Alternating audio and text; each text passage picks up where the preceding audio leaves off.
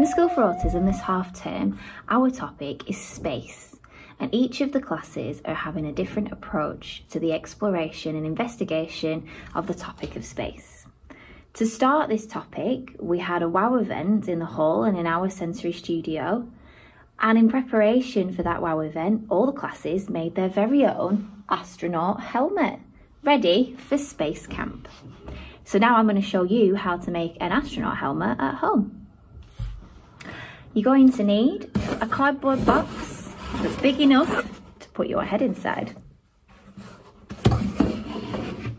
Some glue. Some scissors. Some shiny tin foil.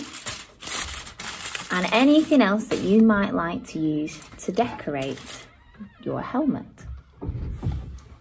So we're going to start first of all by cutting the flaps off the bottom of the box and then we're going to cut a semicircle on one of the long edges to make a gap for our eyes. You might want to get an adult to help you with this if it's a bit tricky with the scissors. So we should have something that looks like this. So next we're going to take our shiny tin foil and we're going to rip it into strips. They can be short ones and they can be long ones. So now we've got lots of strips of shiny tin foil and our box ready to go.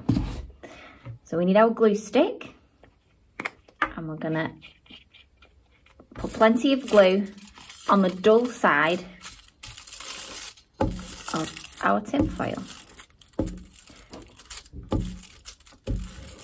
And we're going to start to stick that down on our box.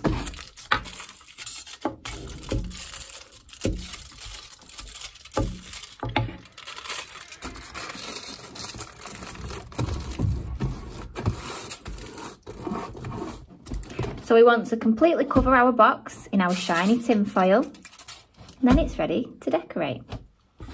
Okay, so now our box is completely covered in our shiny tin foil. We can decorate it however we choose. So in my class, we took a little piece of cellophane and we stuck it just on the inside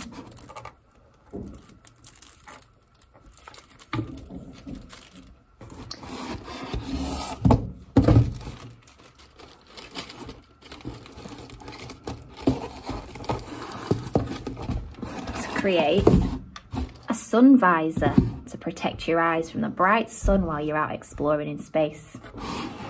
Another option is to cut out some star and moon shapes from shiny paper or different coloured paper and stick those on our helmet.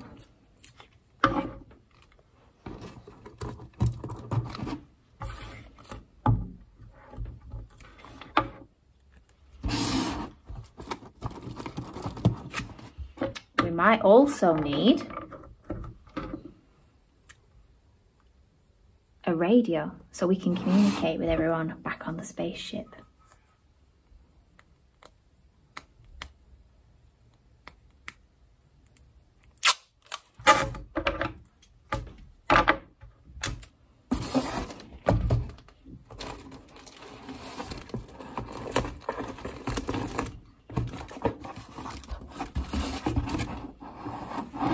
And there we have our very own space helmet.